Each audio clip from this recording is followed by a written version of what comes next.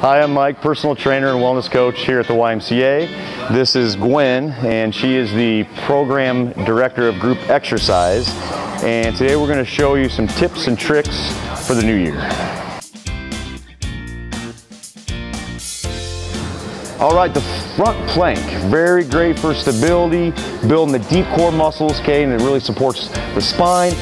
Um, starting off, you can just go from your knees, flat back, pull the navel in to your spine, and then once you get a little more progress, progressed, um, doing the, the full low front plank. Okay, and then you can always do a high plank too. Okay, so on your uh, hands, the up position there, you can go from the knees, just think about keeping your core tight, good flat back.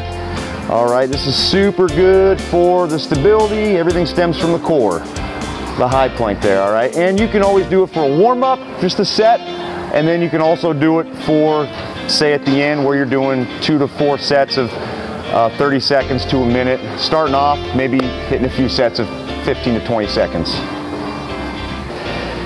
If you have any more questions about the tricks or tips we just went over, feel free to ask any wellness coach at the YMCA as well as any group exercise instructor.